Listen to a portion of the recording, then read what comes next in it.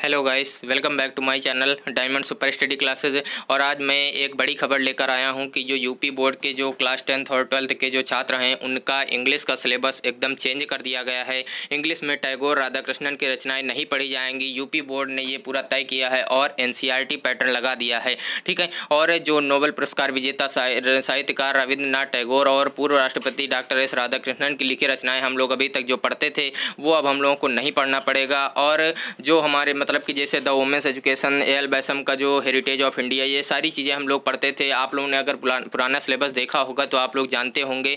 तो उसमें का कुछ भी नहीं मिल रहा है। सब चीज़ हटा दिया गया है। पूरा एन पैटर्न नया लागू किया गया है। नए नए चैप्टर्स आए हैं।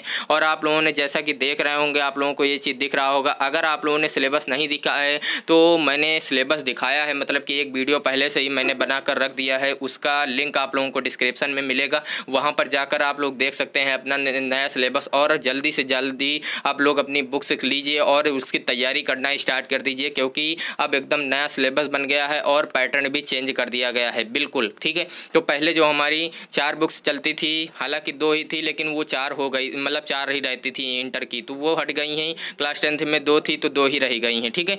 तो आप लोग जल्दी से जाके सिलेबस देखिए और आप लोग अपनी तैयारी आगे स्टार्ट कीजिए।